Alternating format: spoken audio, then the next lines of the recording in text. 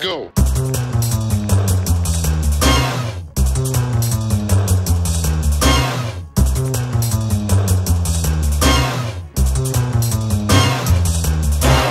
and then we then pick up the uh, monstrosity with one of these aftermarket butt stocks on it, and a drum magazine, and a red dot sight. Again, not something you'd use in real life because it turns a compact, potentially concealable, useful self-defense weapon into none of those things. Three, two, one, go.